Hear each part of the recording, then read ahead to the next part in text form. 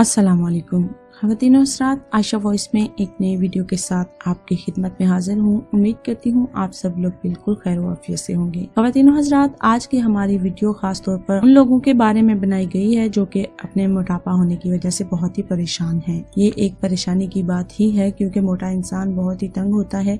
अपनी सेहत की वजह से वो कहीं भी लोगों में उठता बैठता शर्मिंदगी महसूस करता है। वज़न का बढ़ना आजकल आम हो चुका है, लेकिन अगर आप हमारे आज के नुस्खे पर अमल करेंगे तो इनशाला आपके वज़न में बतदरीज कमी आना शुरू हो जाएगी। इससे पहले अगर आपने अभी तक हमारे चैनल आयशा वॉइस को सब्सक्राइब नहीं किया तो जल्दी से सब्सक्राइब कर लें ताकि हमारी हर नई अपडेट सबसे पहले आप तक पहुँच सके।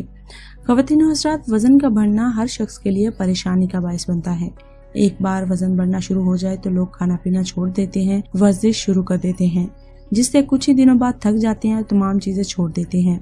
ऐसा करने से जो थोड़ी बहुत वज़न में कमी नज़र आती है, वो भी खत्म हो जाती है और लोग पहले से ज़्यादा मोटे नज़र आने लगते हैं। वज़न कम करने के लिए आपको कुछ बातों का ख्याल रखना ज़रूरी है, जैसा कि खुद को भरपूर हाइड्रेट खाने खाने से रोकना होगा और ज़्यादा से ज़्यादा पानी पीना होगा। खाने पीने में एहतियात बरतनी होगी, इसके अलावा वर्जिश भी शुरू करनी होगी। इसे जारी रखें और वर्जिश उतनी ही करें जितनी आपकी हिम्मत है।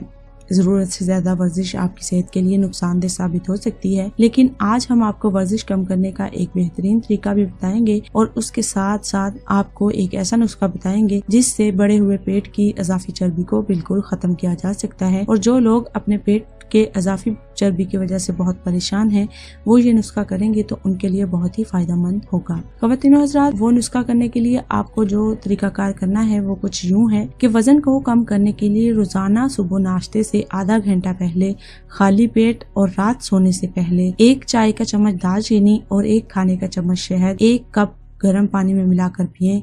अगर ये अमल आप रोज़ाना करेंगे तो वज़न कम होना शुरू हो जाएगा।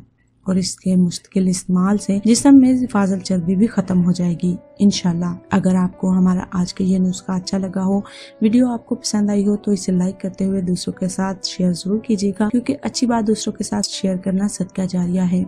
मिलते हैं एक और वीडियो के साथ। कमेंट में ज़रूर बताइएगा कि आपको हमारी वीडियो कैसी लगी। आने वाली वीडियो तक के लिए हमें दीजिए इजाज़त। अपना और अपने साथ दूसरों का ढेरों ख्याल रखिएगा। हमें अपनी दुआ में याद रखिएगा। अल्लाह हाफिज़।